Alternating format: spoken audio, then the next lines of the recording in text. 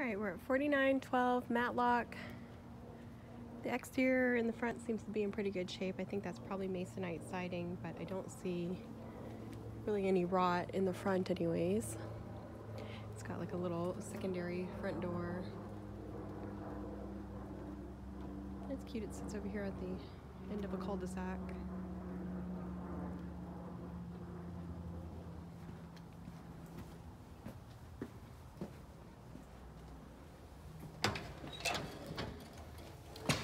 You walk into the living room.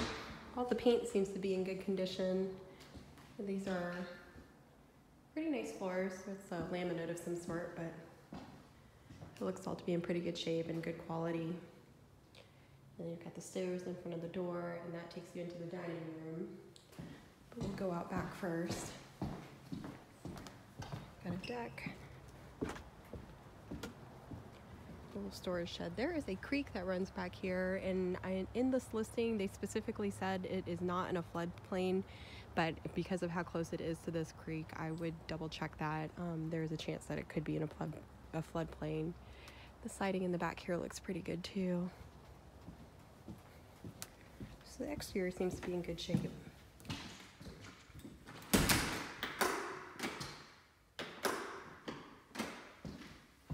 Alright, got tile in the kitchen, the breakfast area. The cabinets are not in great shape, but not in bad shape. A little worn.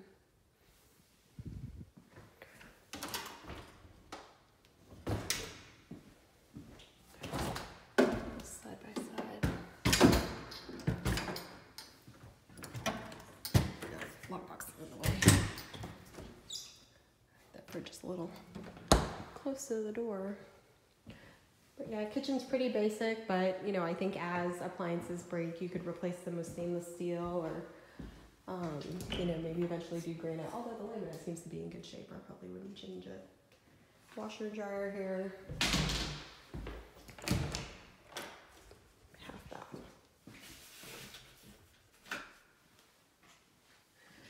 Ooh, excuse me.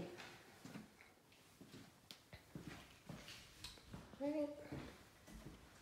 And of course, this goes back to the dining room.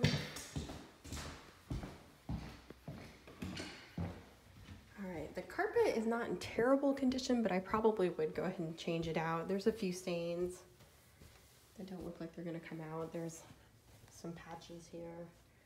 Um, and then you've got these like dark spots along the walls that are the filtration soil lines and that doesn't come out. And then the stain here, so I'd probably go ahead and just refresh the carpet. The paint all looks to be in good shape though, so I don't think you need to do anything with that. This is the master. Decent sized room. Again, the cabinets in the bathroom are not in great shape, but not terrible.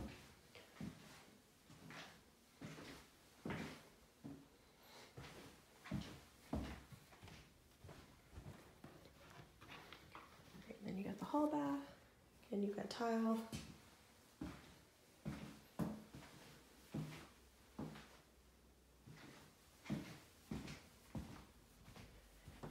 Secondary rooms. Pretty decent sized room. I guess it's at least, at least 11 by 11. Same with the other room.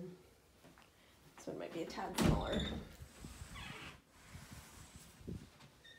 So then you've got a little access to the attic here. Little storage in there. You can't really see, but it is Ford, so you've got some storage. That is Matlock.